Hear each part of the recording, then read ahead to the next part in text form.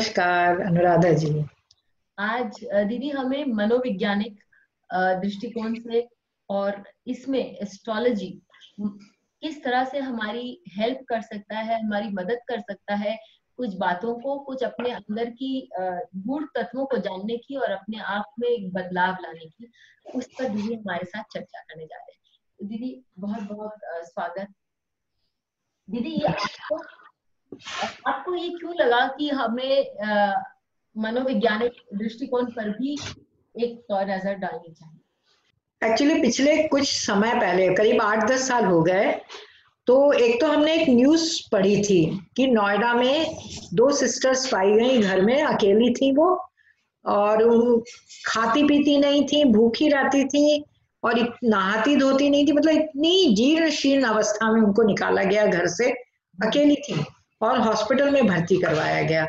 उसके बाद से लगातार मेरे मन में ये चीज़ आती थी कि ऐसी अवस्था क्यों होती है? तो फिर इसके लिए हमने और मेरे पास कुछ व्यक्तिगत रूप से कुंडलियाँ भी आई थी, जो लोग बहुत परेशान रहते हैं, चिंतित रहते हैं मतलब हमेशा नेगेटिव नेगेटिव सोचते हैं। कुछ समझ नहीं आता कि वो ऐसा नेगेटिव क्यों सोच रहे हैं। तो फिर हमने उनकी कुंडलियों पर रिसर्च किया और देखना चाहा कि ऐसा क्यों होता है। और उसमें उनके जो लक्षण आते हैं वो बड़े विचित्र विचित्र आते हैं। कभी वो बहुत घबरा जाते हैं कभी बस अपने हाथ पाँव मसलने लगते हैं कभी किचन में जाके बार बार हाथ धोते हैं बर्तन धुले हुए उनको अच्छे नहीं लगेंगे कभी बेकार की बातों पे गुस्से होने लग जाते हैं कभी बार बार नहाने जाते हैं जैसे तो उनको कोई छूत का रोग हो गया है। तो अजीब अजीब सी हरकतें हम्म। इसके अलावा गुस्सा आ जाना सामान फेंक देना ये सब तो सीधे सीधे कारण दिखते ही है। तो इन सब के ऊपर फिर हमने कुंडलियाँ इकट्ठी करी। हम्म। मैंने बताया था आपको कि मेरी जो स्टूडेंट हैं उदयपुर में मिसेस चंडालिया वो और मैं और वो मिलके हमने बहुत रिसर्च किया बहुत काम। मैडम इस टॉपिक पे करते हैं। तो वो भी कुंडलियाँ ले आती थी मैं भी कुंडलियाँ ले आती थी। तो हमने इस पर काफ़ी काम किया। जब हमने काम किया तो हमने पाया सबसे पहले जो हमने पाया वो ये पाया कि चंद्रमा चंद्रमा को मन का कारक हम मानते हैं। मैं बार बार ये कह रही हूँ कि जब भी हम स्वास्थ्य देखते हैं किसी का तो सूर्य हम आत्मिक बल के लिए देखते हैं मेंटल स्ट्रेंथ और आपकी जो रोग प्रतिरोधक क्षमता होती है वो सूर्य देता है। लोगों से लड़ने की क्षमता इम्यूनिटी और चंद्रमा हमारे मन का स्वामी है तो हमारे मानसिक बल को चंद्रमा देता है। तो जिसकी भी कुंडली में चंद्रमा कमज़ोर हो जाता है कमज़ोर होने का मतलब है कि छठे या आठवें या बारहवें भाव में खुद ही हो स्वयं हो। अगर वो नहीं है तो इन भावों के स्वामी इसको देखें चंद्रमा को देखें या उसके साथ हो या वो छठे आठवें बारहवें भाव के स्वामियों के नक्षत्र में हो। मतलब उसका कनेक्शन होना होता है। छह आठ बारह के साथ। हाँ छह आठ बारह के साथ उसका कनेक्शन होता है तो वो व्यक्ति अक्सर दुखी रहेगा बुरा बुरा सोचता रहेगा उसको समझ में नहीं आएगा कि मेरे जीवन में अच्छा भी कुछ हो सकता है। अनिष्ट की आशंका से डरता रहेगा हमेशा कि मेरे साथ कुछ बुरा हो जाएगा, मेरे बच्चों के साथ कुछ बुरा हो जाएगा। तो इस तरह की जो होती है, सबसे पहले तो हम चंद्रमा को ही देखते हैं। और चंद्रमा को देखने के अलावा सूर्य सूर्य को और हम देखते हैं क्योंकि सूर्य जो है, हमें मजबूती देता है किसी भी रोग से लड़ने की। अगर वो हमारी कुंडली में कमज़ोर हो गया कमज़ोर में एक तो नीच का हो जाना बाधक भाव का स्वामी हो जाना या छठे आठवें भाव का स्वामी होकर लग्न से कनेक्ट हो जाना। तो ये जितने भी होते हैं इनका लग्न और अष्टम लग्न और सिक्स या लग्न और ट्वेल्थ से कनेक्शन होता है। हम्म। फिर उसके साथ साथ हम ये भी देखते हैं कि इनकी दशा अंतर दशा में इनका बहुत ज़्यादा इफ़ेक्ट आता है। दशा अंतर दशा अगर निकल जाती है तो इफ़ेक्ट कम हो जाता है या कभी कभी समाप्त भी हो जाता है। मैंने देखा अक्सर चंद्रमा की महादशा खत्म होने के बाद वो ठीक भी हो गए। हाँ। तकलीफ़ पा रहे थे और वो ठीक भी हो गए। और तीसरा ग्रह एक और जो है वो है बुद्ध हाँ। बुद्ध हमारे नर्वस सिस्टम का स्वामी है। उस, उसका कंट्रोल है हमारे नर्वस सिस्टम पर।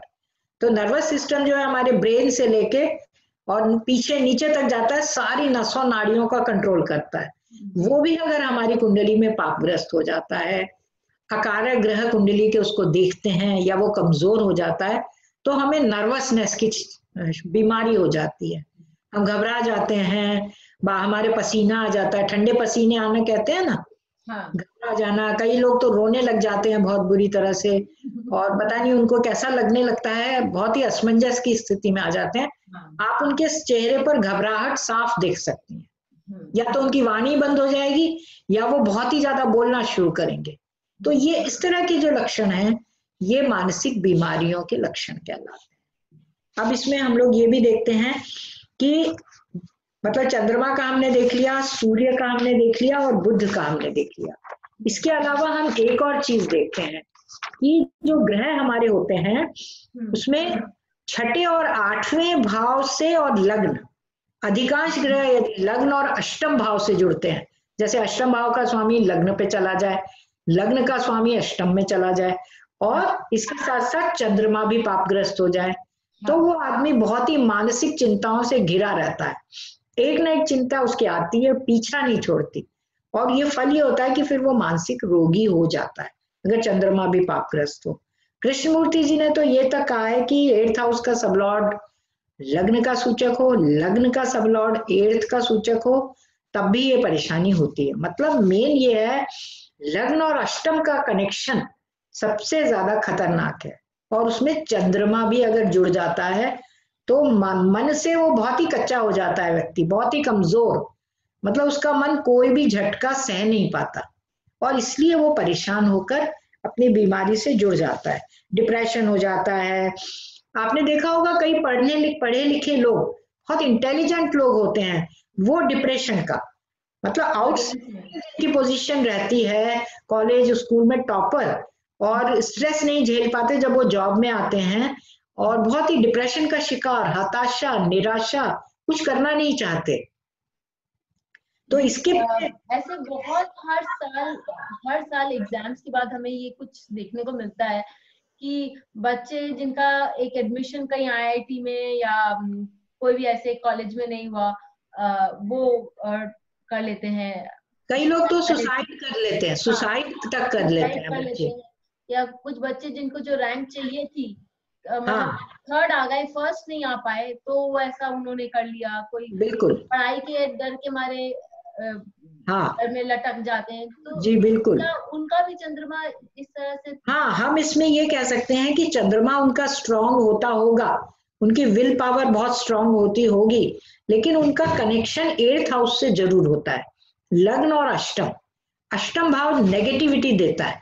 तो लग्न और अष्टम का भी कनेक्शन हो गया और चंद्रमा मज़बूत होते हुए भी यदि उसका संबंध उनसे बनता है तो व्यक्ति बहुत ही नेगेटिव थॉट्स लेकर अपने आप को क्योंकि आत्महत्या का जो भाव है वो भी एट्थ हाउस ही है यहाँ पर आपसे एक बात और पूछना चाहूँगी कि हम्म। जैसे कि आपके चंद्र की लग्न यदि आपका तुला लग्न हुआ या मेष लग्न हुआ तो वहाँ हम्म। लग्नेश और अष्टमेश दोनों एक हो जाते हैं हम्म।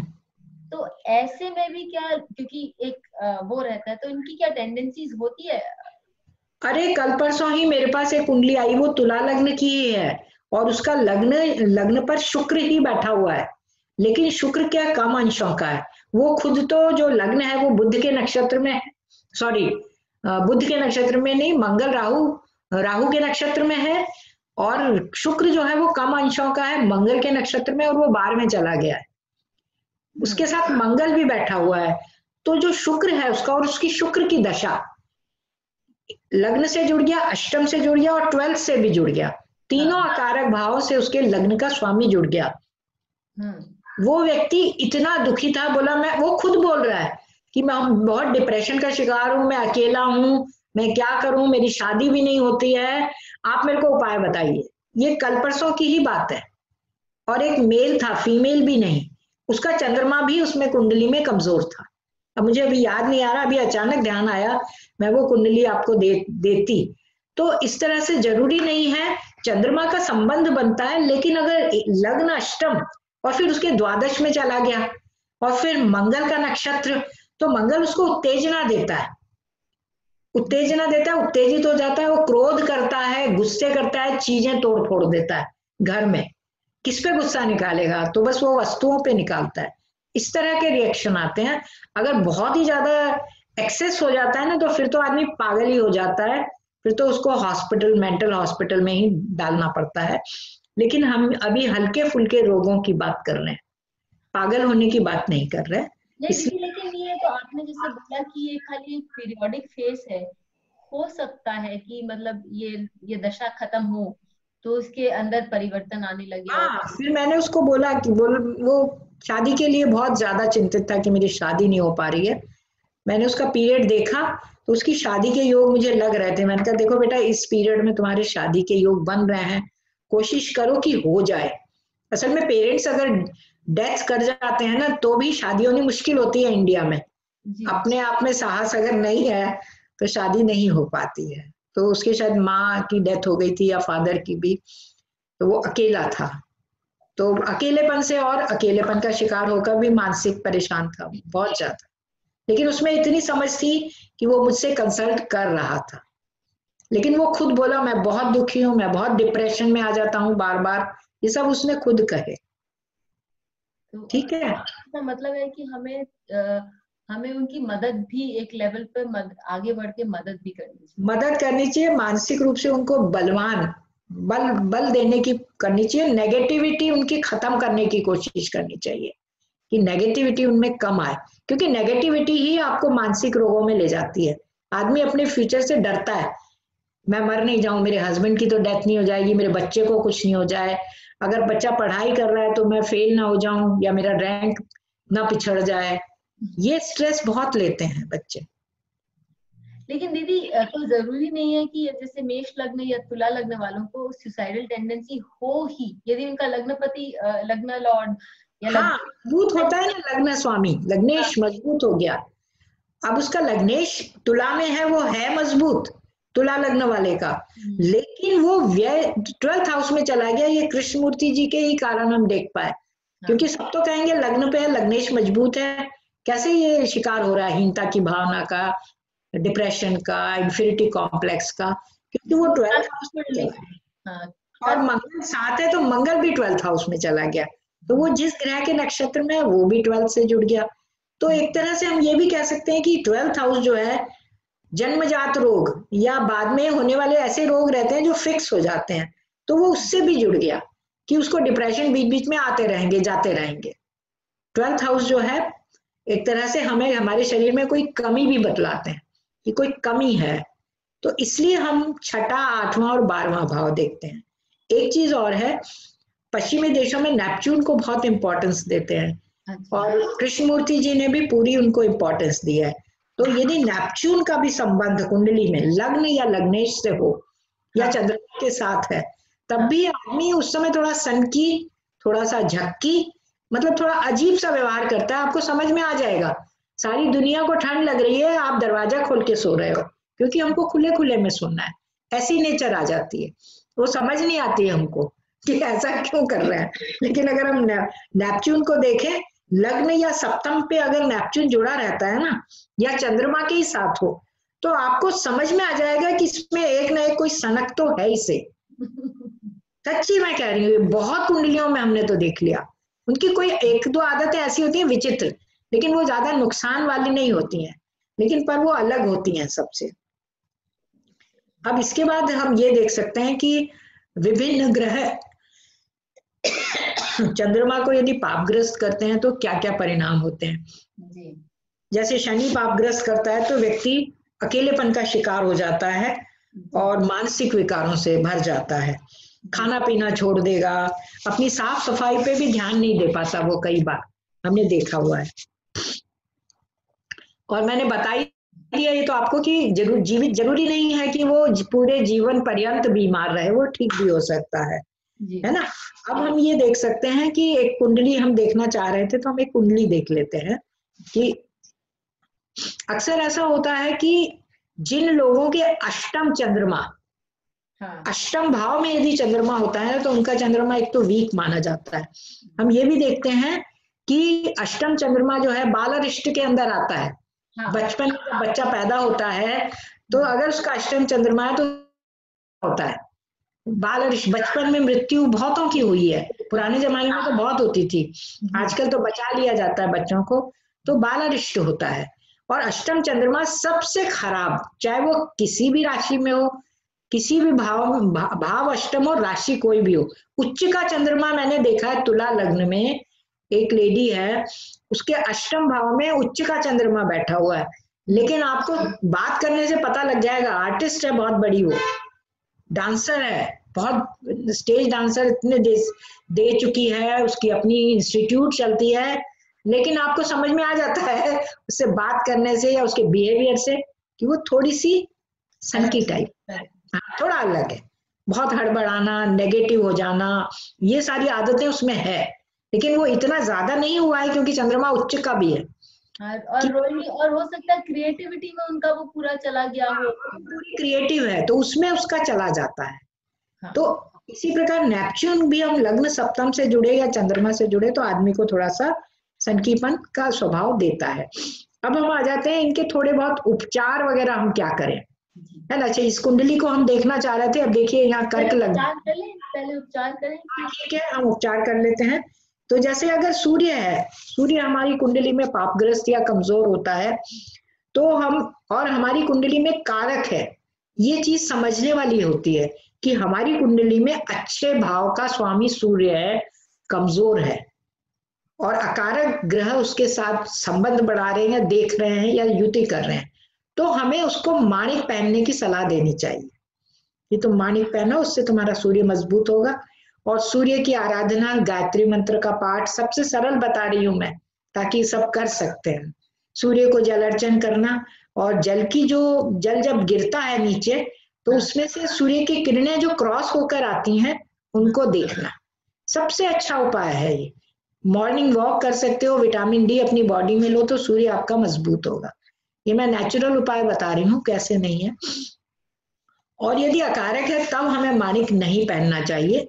तब तो सूर्य के दर्शन और मंत्र के पाठ ही उनके करने चाहिए। ज़्यादा से ज़्यादा हम रविवार के व्रत कर सकते हैं संडे फास्टिंग वगैरह कर सकते हैं यदि कर सकते हैं तो। कई लोग कहते हैं कि बिना नमक किए व्रत कर लें। हाँ। मैं उदयपुर में रहती थी तो वहाँ मुझे इस तरह के बहुत बताने पड़ते थे वो लोग मानते नहीं थे। कौन सा व्रत करें कौन सा मंत्र करें तो इसलिए मुझे ये सब भी आ गया मंत्र देना तो ये हम कर सकते हैं इससे सूर्य मज़बूत होता है और आजकल तो मैं ये उपाय बताती हूँ कि सुबह सुबह जाकर सुबह की धूप लो विटामिन डी आप लीजिए सूर्य आपका मज़बूत हो जाएगा अब देखिए तुला लग्न जब हम देखते हैं तो सूर्य एकादश भाव का स्वामी है लग्न में आता है नीच का हो जाता है हाँ। है ना तो हाँ. हम उसको स्वास्थ्य की दृष्टि से हम उसको अच्छा नहीं मान रहे हैं क्योंकि वो बाधक भी है हाँ. और लग्न से उसका कनेक्शन हो गया हाँ. हम, हमको, हम उसको नहीं कहेंगे कि तुम माणिक पहनो। हम कहेंगे, तुम सूर्य की आराधना करो। है ना? क्योंकि वो सब चीज़ों में फ़ायदा देगा, लेकिन स्वास्थ्य में वो कुछ नहीं करेगा। उसका कमज़ोर है स्ट्रक्चर इसके बाद आता है हमारा चंद्रमा। चंद्रमा के लिए भी हम यही कहेंगे कि वो अच्छे भाव का स्वामी होकर यदि कमज़ोर है तो उसको मोती पहनाना चाहिए। उसको बोलो, हमेशा मोती पहनो, उंगली में भी पहन सकते हैं, या गले में मोती की माला, अगर लेडी है, स्त्री है कोई वो पहन के खुश भी रहेगी। तो उसका जो चंद्रमा है वो उससे मज़बूत रहेगा। और अगर अकारक है तो शिव की आराधना और शिव के मंत्रों का पाठ ये सब करने से उसको थोड़ा सा मानसिक संतोष मिलेगा। और तीसरी चीज़ है सूर्य के लिए हम एक और चीज़ जो भूल गए कि तांबे का। हाँ। तांबे का कड़ा हम पहन सकते हैं और तांबे के बर्तन में रखा हुआ पानी पीना चाहिए। ये भी हम बताते हैं कि पानी उसका जल का सेवन करो सुबह उठकर रात में पानी रखो और सुबह उठकर उसका सेवन करो तो उससे आप फ़ायदा होगा। फ़ायदा हुआ। पूछना चाहूँगी दीदी जैसे आपने मानक एक बात और पूछना चाहूँगी। जैसे आपने मानक के पहनने के लिए कहा हाँ। दीदी जैसे किसी का धनु लग्न है सूर्य नवम भाव का स्वामी है लेकिन आपके यदि आपके षष्टम भाव में बैठ गया। तो ऐसे व्यक्ति को भी क्या मानिक्य पहनना चाहिए? आ, नहीं मेरे हिसाब से नहीं पहनना चाहिए। हालाँकि छठा भाव है उसकी नौकरी के लिए है और छठे भाव की वृषभ राशि। हाँ। है ना? वृषभ राशि आएगी वहाँ सूर्य का नक्षत्र है चंद्रमा का नक्षत्र है और मंगल का नक्षत्र है। हाँ. उसमें। तो सूर्य का नक्षत्र केवल भाग्य है। अगर वो अपना कैरियर बनाना चाहता है तो नाइन्थ हाउस उसका ऑपरेट होगा टेंथ हाउस नहीं होगा। तो उससे उसको नौकरी वगैरह में परेशानी होगी अगर हम उसने माने हमने उसको मानिक पहनाया। इसके अलावा अगर चंद्रमा के नक्षत्र में आता है तो धनु लग्न वालों के लिए चंद्रमा अष्टमेश है। हाँ। तो वो और खराबी करेगा उसके मानसिक परेशानियाँ देगा। और मंगल भी उनका व्ययेश भी है पंचमेश है मंगल इसका नक्षत्र है वहाँ। वो पंचमेश है और व्ययेश भी है। तो उसके कैरियर को बनाने में कोई सहायक सिद्ध नहीं होगा। तो हमें मानिक उसको हम नहीं सजेस्ट करेंगे। हम सूर्य की आराधना, सूर्य के दर्शन, सूर्य को जल अर्चन, सूर्य के मंत्रों का पाठ, आदित्य हृदय स्त्रोत्र का पाठ, ये सब हम उसको बता सकते हैं।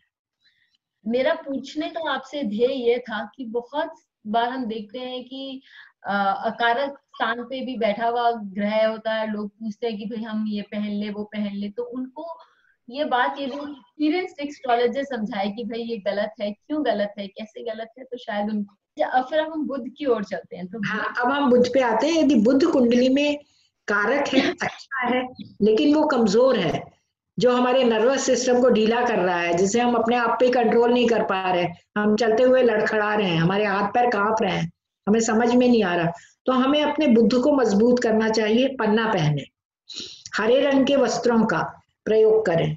ये सब चीज़ें हम कर सकते हैं। और अगर अकारक है तो गणपति गणेश जी की आराधना गणेश जी के मंत्र का पाठ और हरी चीज़ों का दान। मैं एक चीज़ और बताना भूल गई कि जब ग्रह अकारक होता है तो उसकी चीज़ों का दान करना चाहिए। हम्म। वो हम स्वयं काम में ना लाकर दूसरों को दें। जैसे सूर्य के लिए भी हम सूर्य का जो भी चीज़ें हैं उसकी गेहूँ है शहद है ये सब चीज़ें ऊन के वस्त्र हैं ये सब हम दान दें तो हमारे लिए वो अच्छा फल प्रदान करते हैं चंद्रमा के लिए हम दूध दूध से बने हुए पदार्थ हाँ। इन सब चीज़ों का हम दान दें और वृद्ध वृद्धा स्त्री का कारक है चंद्रमा हाँ। तो हम वृद्धा स्त्रियों को यदि खिलाएँ उनको मावे की मिठाई खिलाएँ मिल्क चॉकलेट तो खैर बच्चियों को हम दे सकते हैं तो वो सब दें तो उससे उनको जो खुशी होगी उससे हमको अच्छे परिणाम मिलेंगे इसी प्रकार बुद्ध के लिए हम कहते हैं कि गायों को चारा खिलाओ हरी चीज़ों। यदि वो कारक है तो आप अंगूठी पहनो नहीं तो आप उसके मंत्र का पाठ करो और हरे रंग की चीज़ों का दान करो। हरे रंग के वस्त्रों का दान करो। आप स्वयं कम पहनो और दूसरों को दो। आ, सूर्य का जो रंग है वो ऑरेंज है। ऑरेंज कलर की वस्तुओं का दान दो। चंद्रमा का है क्रीम कलर क्रीम कलर की वस्तुएँ आप कम प्रयोग करें। और दूसरों को दान दें तो आपको रिज़ल्ट पता लगते हैं। इसी प्रकार हम इनके नंबरों का भी प्रयोग कर सकते हैं। जैसे सूर्य का नंबर है एक और सात। हम्म। तो ये नंबर हम कम प्रयोग करें अगर हमारे लिए हानिदायक है तो। और यदि फ़ायदेमंद है तो उनका खूब प्रयोग करें। चंद्रमा के दो और सात नंबर है। हम्म। उनका भी हम अगर हमारे लिए चंद्रमा लाभदायक है तो हम कम प्रयोग अच्छा प्रयोग करें उनका भरपूर। और नहीं तो नहीं करें अवॉइड करें। और बुद्ध का नंबर जो है वो पाँच नंबर है। इसका प्रयोग हम अच्छा है तो खूब करें और नहीं तो कम करें। इसमें नंबर प्रयोग विशेष रूप से हम जब अपनी गाड़ी लेते हैं, वाहन लेते हैं, तब हम प्रयुक्त करते हैं। उसका टोटल आ जाना चाहिए और नहीं तो घर हमारा बनाते हैं, तब हम काम में लेते हैं। तो इस चीज़ का थोड़ा ध्यान रखना चाहिए या किसी डेट पर कोई ज्वाइनिंग देनी है तो हम कर सकते हैं। इस तरह से इसका प्रयोग। हम्म। इसके अलावा कुछ खाद्य पदार्थ भी हैं इससे जुड़े हुए। इन सूर्य चंद्र और बुद्ध से उनका भी प्रयोग हम कर सकते हैं या दान दे सकते हैं। जैसे सूर्य के लिए है अरहर की दाल परवल लपसी या हलवा हाँ। नारंगी रंग के या रानी रंग के वस्त्र संतरा इत्यादि। और तांबे का रंग नारंगी रंग के वस्त्रों का दान भी कर सकते हैं। और रक्त चंदन का लेप कर सकते हैं स्वयं के लगा सकते हैं। और चंद ये हमारे एक उदयपुर में एक बहुत उमा शंकर जी शुक्ला थे बहुत ही फ़ेमस ज्योतिषी थे। उनके टिप्स पर होते थे ये उपाय।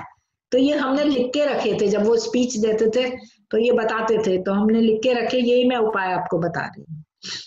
उसके बाद चंद्रमा का जो है क्योंकि इनका वार सोमवार है चंद्रमा का तो उसमें दूध चावल खीर मिठाई कढ़ी आलू, लौकी, सफ़ेद रंग या क्रीम रंग के वस्त्र, मोती, कपूर, घी और चांदी।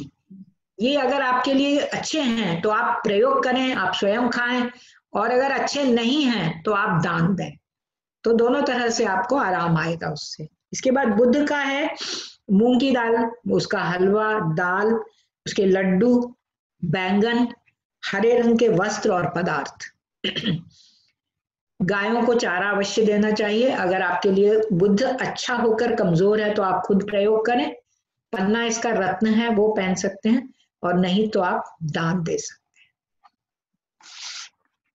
हैं। अब हम एक जो कुंडली हम लेने वाले थे वो हम ले लेते हैं।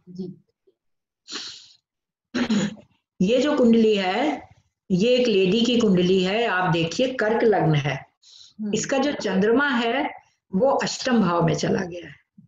लग्नेश लग्नेश अष्टम भाव में चला गया और दूसरा वो चंद्रमा भी है। हम्म। तो अब आप सोच लीजिए कि एक तो लग्नेश अष्टम में है दूसरा चंद्रमा भी अष्टम में तो दो तरह से और फिर आप देखें बारह डिग्री का है इट मीन्स वो राहु के नक्षत्र का है। हाँ। और राहु का और राहु लग्न पे बैठा हुआ है उसके। और बुद्ध के नक्षत्र में है कितना वो कंफ्यूज करता होगा ये देखने वाली बात है। और और उसका कारक भी बन गया है। चंद्रमा हाँ। का कारक भी है सब लॉर्ड हाँ बस वही है। और फिर आप देखिए कि जो बुद्ध है वो खुद भी ट्वेल्थ हाउस में चला गया है। हम्म। तो राहु भी राहु जो है एक्चुअली एक तो तरह तरह के विचारों को दिमाग में जन्म देता है। हाँ। बहुत ही ज़्यादा प्लानिंग योजना पता नहीं क्या क्या भटकाव की स्थिति देता जी। उसका लग्न में आना और फिर सूर्य का भी लग्न में आना ये भी खतरनाक है कि जिद्दी पढ़ने लिखने में ये लड़की बहुत होशियार है इंटेलिजेंट आउटस्टैंडिंग लेकिन नंबर वन झक्की, जिद्दी, अगर इसने, इसमें घर में इसका इनका जो लग्न पे सूर्य है, इसके कारण ये बहुत ही डोमिनेटिंग नेचर की हैं रॉयल नेचर की हैं, इनको बहुत अच्छा अच्छा सब कुछ चाहिए होता है रॉयल ब्रांडेड ये सब। घर में चाहे इनकम कम हो, लेकिन उनको खर्चा करना रहता है अच्छी अच्छी चीज़ें। फिर अगर इनका कहना किसी ने घर में नहीं माना तो आफत आ जाती है। अब पिछले दिनों जो इनका टाइम निकला शनि में सूर्य का अंतर वो भी बहुत ही खराब निकला और चंद्रमा का अंतर भी। अभी भी जो मंगल चल रहा है ना मंगल को भी आप मानिए कि मंगल भी चंद्रमा के ही नक्षत्र में है। तो अभी भी ये काफ़ी वायलेंट हो जाती है। अभी भी। हाँ. तो अब में हमको लगता है कि जब राहु का अंतर आएगा तो राहु खुद बुद्ध का है। तो एक तरह से इनकी ठीक होने की जो गुंजाइश है वो बहुत कम है। हाँ। अब है ना क्योंकि अंतर दशाएँ भी एक के बाद एक सही नहीं है हाँ। और शुक्र और बुद्ध जो है ट्वेल्थ हाउस में बैठे हुए हैं हम्म। ये भी एक्चुअली बारहवें भाव का स्वामी बारहवें में बैठा हुआ है तो वो खर्चा बहुत करवाता है उनके हाथ से पैसा नहीं बचा पाती ये बहुत ज़्यादा और हमेशा अनिष्ट अनिष्ट की आशंका से ग्रस्त रहती हैं कि मेरा क्या होगा मैं क्या करूँगी मतलब बहुत ही समझा समझा के मैं थक गई काफ़ी, लेकिन वो कोई खास असर इन पर नहीं होता है। तो निष्कर्ष यह है कि यदि ये हमने, मैंने मैंने जो आप बता रहे थे दीदी तो मैंने इनका जुपिटर भी देखा। जो कि इनका जुपिटर जो राहु के बाद वाली दशा है अंतरदशा है, वो भी मैंने देखा कि इनका जुपिटर भी पंचम भाव में ये वीनस के नक्षत्र यानी पूर्व फाल्गुनी में बैठा हुआ है हाँ, शुक्र में है शुक्र के नक्षत्र। और शुक्र इसका इसका बाधक भी है इस नक्षत्र इस इसके लिए बाधकेश भी है। और जाके द्वादश भाव शुक्र और बारहवें भाव में बैठा हुआ है। हम्म। और वो मंगल के सब में है। हाँ। तो ये शुक्र भी बारहवें में बैठा हुआ है ना इसलिए परेशान मतलब वो ठीक हो नहीं पाती है। थोड़े से दिन वो ठीक रहती है थोड़ा नॉर्मल या जब उसको मतलब फाइनेंस चाहिए होता है तब वो थोड़ा सा पोलाइट होती है सॉफ्ट होती है वरना वो वापस एग्रेसिव हो जाती है। मतलब वो फ़ोन पे भी लड़ाई कर सकती है आपसे इस टाइप की महिला है वो। घर में सामने सामने तो करे जो करे फ़ोन पे भी कर सकती है। तो ये मतलब है कि जो समय आपका आ, कैसा है मतलब उनका ये जो ये जो पूरा साटन की महादशा इसमें जो कारक भाव से जुड़े हुए प्लैनेट्स हैं उसके कारण उनको बहुत तकलीफ़ भी एक्चुअली शनि तो अष्टमेश है इनका सप्तमेश और अष्टमेश है शनि। हाँ। उसकी दशा चल रही है। कर्क लगने वालों के लिए शनि बहुत खराब माना गया है। हाँ. और फिर मतलब खुद ही अपने आप में ही बुरा बुरा सोच के और मतलब हर तरह से अपने आप को कष्ट देने वाली स्थिति है। हालाँकि पढ़ाई एजुकेशन इसकी डबल मास्टर्स डिग्री होल्डर है बहुत अच्छी जॉब करती रही है लेकिन कभी भी छोड़ आता है। कुकिंग वगैरह का बहुत शौक है इसको। लेकिन कंसिस्टेंसी जो कहते हैं ना वो बिल्कुल नहीं है। अष्टम भाव इतनी बुरी तरह से ऑपरेट हो रहा है कि समझ में नहीं आता है कि क्या करें। उपाय भी हम कुछ कोई उपाय चलता ही नहीं है इसके हाँ, ऊपर। जैसे आप हम अपने नेक्स्ट वीडियो में करने जा रहे हैं दीदी के साथ। कि आपकी कर्म पर दीदी ने अच्छा बहुत सुंदर लेख लिखा है जो हम करने जा रहे हैं नेक्स्ट वीडियो पर ज़रूर देखिएगा। तो आपने जैसे बोला कि वो दृढ़ कर्म के अंतर्गत आ जाता है तो वो उसका कोई तो हाँ। उपाय कुछ उपाय से कुछ होता नहीं है। और ये बात भी वापस बता दूँ कि दीदी के साथ हमारा केपी एस्ट्रोलॉजी पर एक बहुत सुंदर कोर्स आ रहा है। यदि आप चाहें और इस कोर्स को करना चाहें दीदी के पास भी लोगों ने काफ़ी फ़ोन करके निवेदन किया है पढ़ाने के लिए ऑनलाइन तो यदि आप करना चाहें तो ज़रूर इसकी लिंक पर जाएँ और अपने आप को रजिस्टर और अच्छा। दीदी आप दीदी दीदी आप इस कोर्स के बारे में क्या बताना चाहेंगी एक्चुअली मेरे विचार से जो लोग वैदिक बहुत अच्छी तरह से पढ़ चुके हैं जिन्हें राशियों भावों और ग्रहों के अलावा नक्षत्रों का भी बहुत अच्छी तरह ज्ञान है उनको इसको पिकअप करने में कोई दिक्कत नहीं होगी।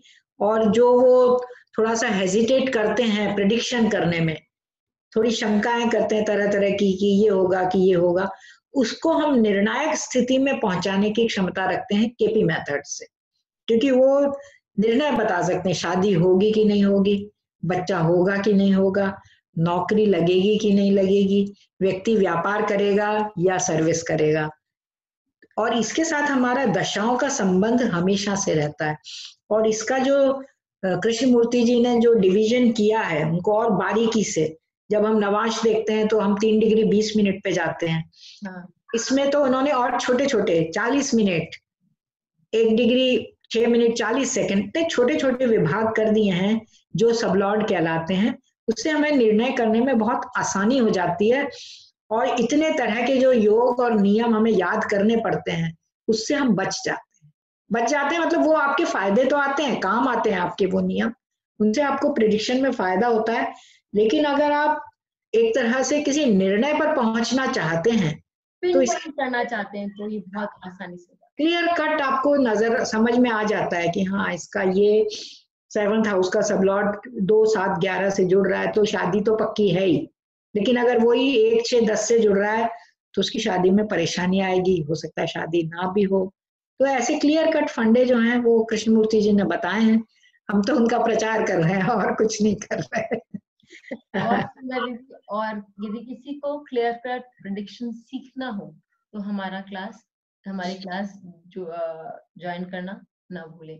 और अगला वीडियो देखना बिल्कुल ना भूले। आपके लिए हमारे लिए सबके लिए ज़रूरी उसमें संदेश है नमस्कार।